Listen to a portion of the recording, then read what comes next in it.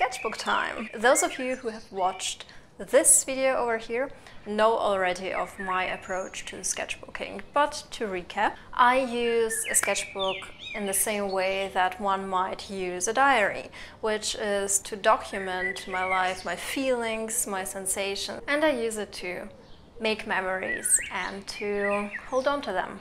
I started this practice in June and now two months have passed. So I wanted to walk you through the things that I've made during this time and tell you a few stories.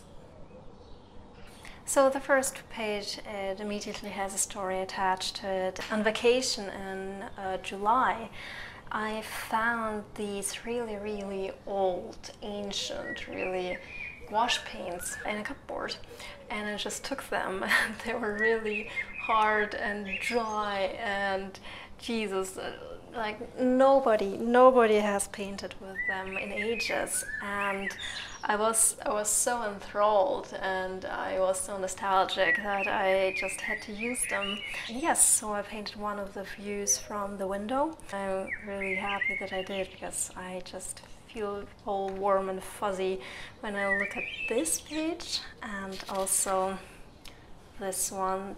That's the view from another window. It was so fun exploring this medium again after more than a decade and I noticed that I was kind of struggling because with gouache you kind of have to do the opposite of what you do with watercolors, right? So you have to move from the darkest colors to the lightest colors, but I didn't actually have any white. And that that was a real struggle. I, I really love looking at this page over here. During this vacation we also went to the um, seaside during sunset and I sat there and just tried to paint with those gouache paints. It didn't really work out. Uh, I'm not really happy with uh, the picture per se, but it's still such a fun memory just sitting there. I'm trying to paint all the while I could barely see what I was doing because it was so dark.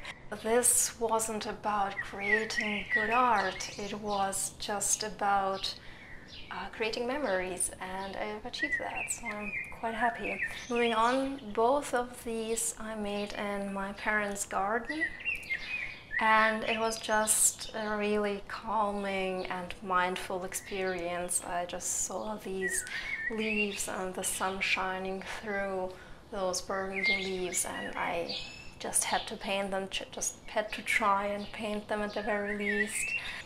So that one's really interesting. I guess you're kind of surprised to see faces.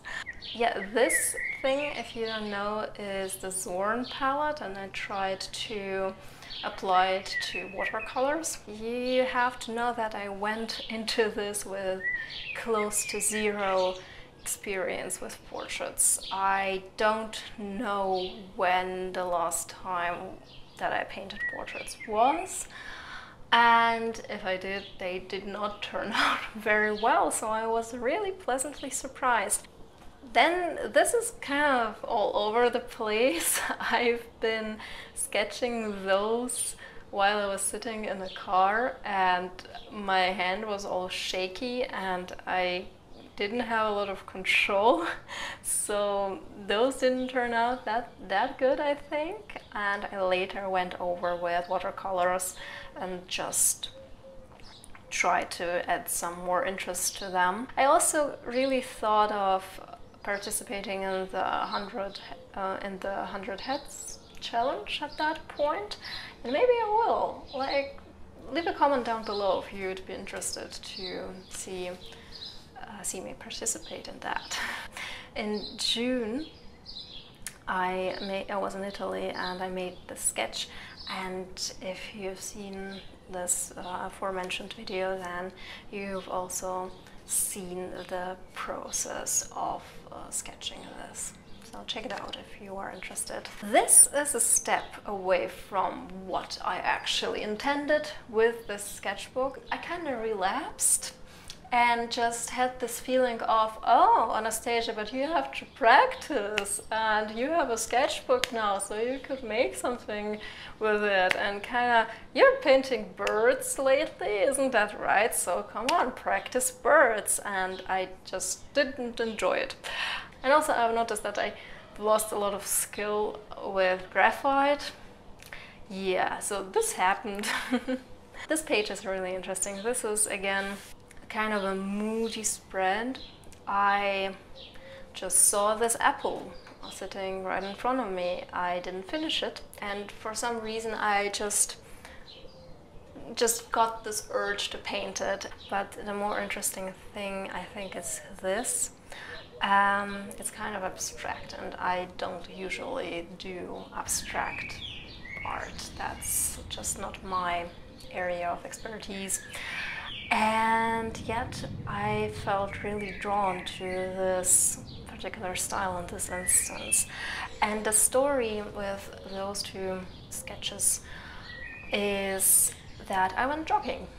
And I went jogging during sunset and the colors were just so, so, so beautiful. I have enjoyed it immensely and I just felt so mindful and in the moment and really wanted to capture this moment and yet when I came home obviously I didn't have all the details um, before my eyes anymore and I thought instead of creating this really detailed picture, I could just try to capture the mood and the colors of the moment.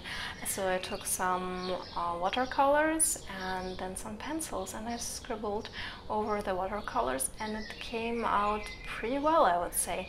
When I look at those, I really, really see the moment again in this case, I went jogging again and that was quite interesting. So the thing you see here is called an anvil cloud. And yeah, I just turned around at some point and looked back and there was just this giant, giant, weird cloud um, hanging over the field and over here there was lightning inside this cloud and aside from this cloud there, there were no clouds anywhere. It was just this one anvil cloud and that was so fascinating to watch. And this thing is a sketch I made literally on the last day of August. I went into the forest and I sat down far away from any and all roads away from people, just myself and my dog and my paints and I just started painting. It was such a calming, relaxing and mindful experience. I will do that again. I'm very very sure of that. I didn't finish it because it was because it started raining and it and it got really dark. I actually filmed it, but I later noticed that the camera was kind of out of focus, unfortunately. But I'm very happy that I did this. Yeah, so I hope you enjoyed this little sketchbook tour. Tell me if you liked it, leave a comment, like the video, so that I know that you are interested in videos like that and would like to see more from me. Yeah, and until then, see ya!